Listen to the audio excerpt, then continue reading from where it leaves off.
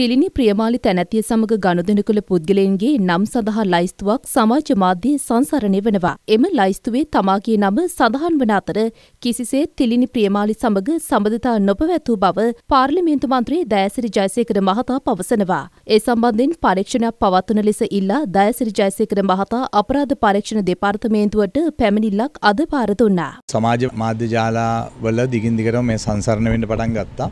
ඒ සම්බන්ධව අපරාධ පරීක්ෂණ දෙපාර්තමේන්තුවට මම පැමිණිල්ලක් ඉදිරිපත් කරන්න ආවේ. මේ සම්බන්ධව වහාම පරීක්ෂණයක් කරන්න කියලා කවුද මේ සමාජ මාධ්‍ය ජාලාවලට අපේ නම් මේ විදියට ඉදිරිපත් කරේ කියලා. මොකද මේවා සම්පූර්ණ අසත්‍ය කරුණු. මේ තැනත්තිය දන්නෙත් නැහැ, අඳුරන්නෙත් නැහැ. ඇයගේ ව්‍යාපාරවල අපි සල්ලි දාලා තියෙනවා කියලා තමයි මේ සමාජ මාධ්‍ය ජාලවල යන්නේ. නිසා අපි එවැනි තැන්පතුවක් කරලත් නැහැ. ඒ ඇත් සමග කිසිම ව්‍යාපාරික ගනුදෙනුවක් කරලත් නැහැ.